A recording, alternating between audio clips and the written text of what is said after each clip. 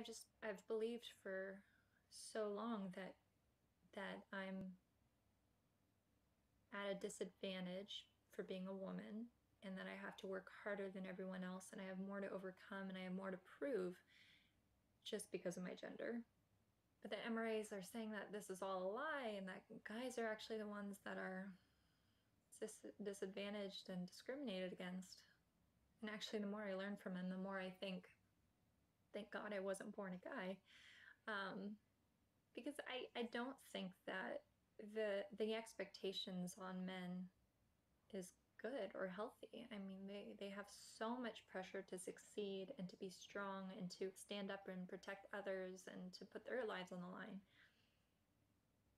I don't think I would want that responsibility. So